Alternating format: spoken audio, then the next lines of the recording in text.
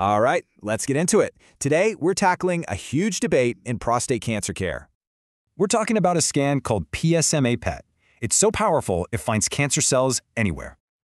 You'd think everyone would get it, right? But experts just can't agree on who should. Okay, so there's one area where pretty much everyone is on the same page.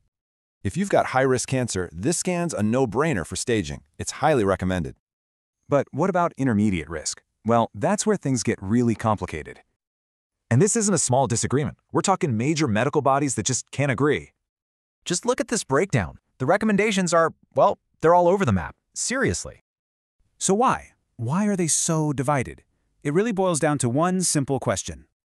First, let's hear from Team Scan. What's the case for using this powerful tool? They argue it finds hidden spots, which could help some guys avoid major surgery. And the numbers back it up. In about 15% of these cases, the scan finds spread. Okay, but what's the other side of the coin? Why would you not want to scan? Well, critics say the risk of spread is already so low, the scan doesn't often change things. Plus, you've got this weird statistical thing called the Will Rogers phenomenon. It can be tricky. It's like this. Move the top student to a smarter class. Suddenly, both class averages improve. So here's the bottom line. The debate is happening because the evidence just isn't there yet. That's why right now, the guidelines are mostly based on expert opinions, not hard data. But, and this is important, things are changing, and they're changing fast. Because as new research comes out, you can bet that today's recommendations will evolve.